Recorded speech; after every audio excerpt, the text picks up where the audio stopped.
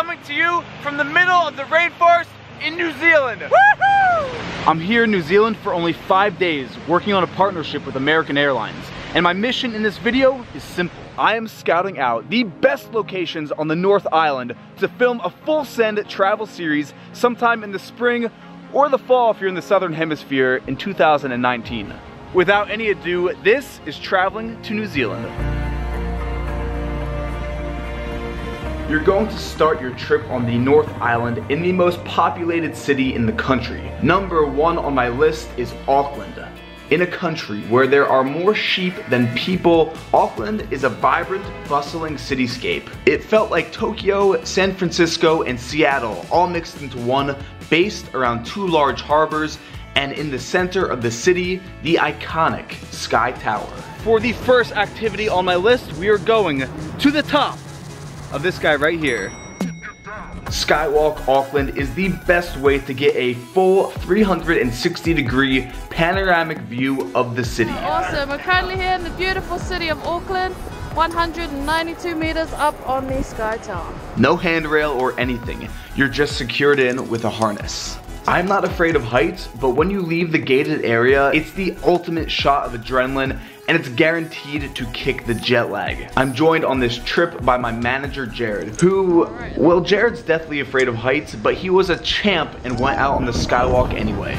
And for the more daring, there's the sky jump, which is a base jump by wire off the sky tower. 1000% worth it. Auckland is known as the city of sails, with more boats per capita than anywhere else in the world.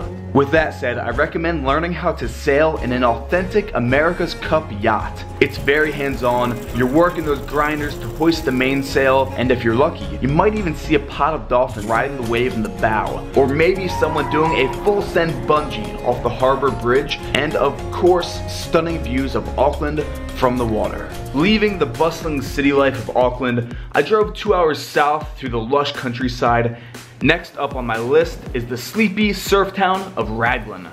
Now Raglan is at the top of every surfer's bucket list. The peeling left-hand break is said to be one of the longest rides in the world. Ever since I was a kid, I have dreamed of surfing perfect left-hand bombs at Raglan. Uh, as you can see though, it is a stormy day, onshore winds, kind of chop and slop out there. So we will see if I get to surf it or if I just stand here like a sad, wet dog in the rain. Erik Conover, reporting from Raglan. Wet, cold, and I'm not gonna lie, a bit defeated.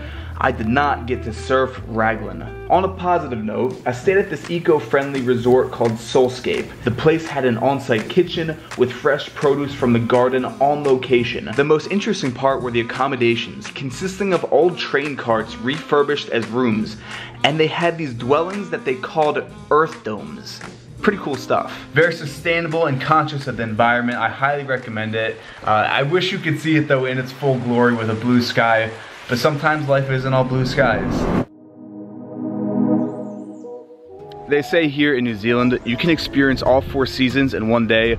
It's now the next morning, and we have a beautiful sunny sky. The rain has stopped, the wind has kind of died down. Pause that, you know how I said four seasons in one day? Welcome to New Zealand. A short 15 minute drive from Raglan through the lush rainforest brings us to the next location on my list, Bridal Veil Falls.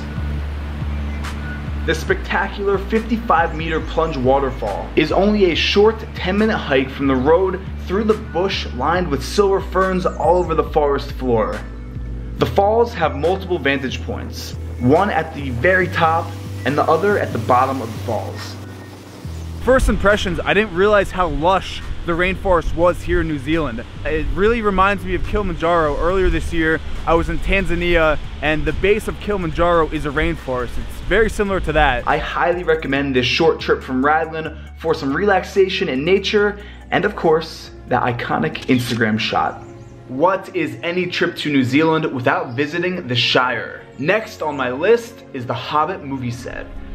Growing up, I was a massive fan of The Lord of the Rings, and to see this movie set in person, in real life, it's kind of like a childhood dream come true just to see the level of detail at this place. There are 44 hobbit holes dug into the hillside. The film set covers 12 acres of pastures and is an actual working farm covered in sheep and tons of little lambs roaming around the property. One piece of advice I have, when you come here, you should know in advance that this is a major tourist destination for the country of New Zealand. Our tour guide Luke was saying that it's more popular now, 20 years after the film, than when it was first opened to the public as a tourist destination. It's actually pretty packed right now, but in no way will that stop you from stepping back into Middle Earth.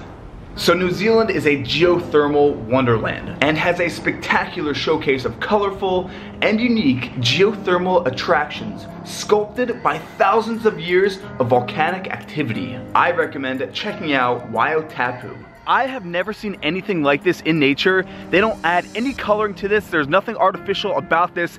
That color you are actually seeing is how it is in nature. It looks like a radioactive dump site, but the neon water gets its color from the deposits of sulfur that rise to the surface and float on top. The main attraction at Wai-O-Tapu is the champagne pool. It is about 74 degrees Celsius and it's said that it goes down to the earth's crust. The reason for the crazy colors is from the minerals, which are gold, silver, and arsenic, and a little bit of mercury. Not that I'm any geologist or anything. All this information is actually on the nice pamphlet that they give you when you walk in here, but it sounds a lot better when I read it off to you. After Wai-O-Tapu, head on over to Hell's Gate. That is right, Hell's Gate, which is Rotorua's most active geothermal area with erupting waters, pools of boiling mud, the largest hot waterfall in the southern hemisphere, and of course, the mud volcano. Could you imagine being the first human to be walking through the bush, then all of a sudden, you come across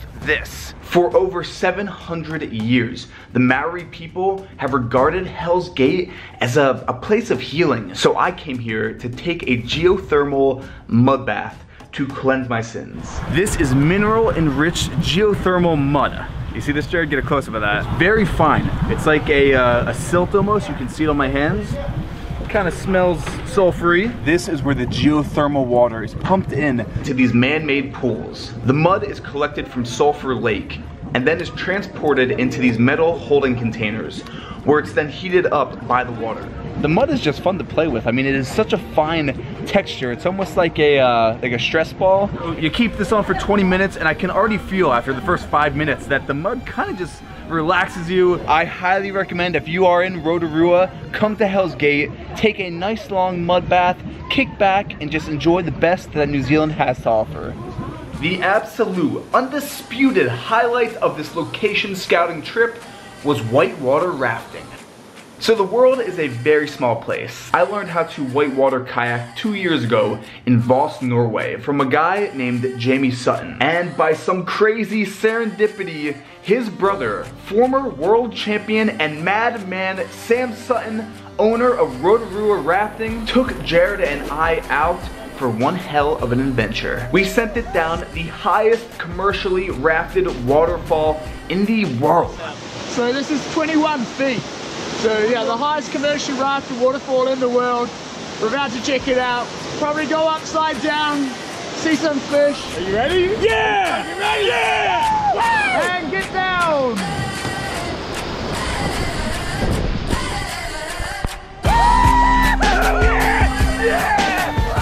You will feel high on life after the plunge you might fall out of the raft unexpectedly like Jared did. Let's do this. Sam is telling us we're gonna now swim through the next rapid. Yeah, we're gonna swim a waterfall here. Watch the boys get a little bit of downtime and uh, basically just get to watch the fear in their eyes. So I'll give you a whistle when I'm ready. Here we go. And now, this is perfectly safe. I have a life vest on. I have a helmet. I'm protected. But out of all the incredible locations in this video, rafting the falls is the absolute must. And just like that, our scouting trip is over. If you want to see a full send, I'm talking three, four weeks in New Zealand, comment down below more New Zealand. If you're new to the channel, make sure to subscribe for more high quality travel content. And with that, I will see you in the next video. You!